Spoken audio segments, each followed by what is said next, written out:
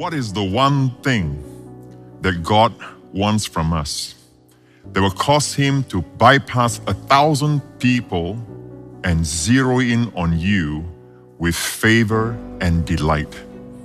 What is that one thing? Faith. The Bible says, without faith, it's impossible to please God. Faith always gets God's attention. Why? Because faith justifies God and makes the devil a liar.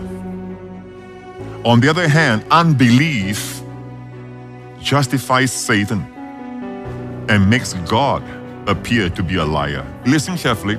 All right, it's all right if you are battling with unbelief and doubt in your heart, but expose yourself to the word of Christ. Expose yourself to the word of God because you don't have faith, faith cometh. How does faith come? By hearing and hearing and hearing. The idea there is keep on hearing. Faith comes by hearing and hearing by the word of Christ.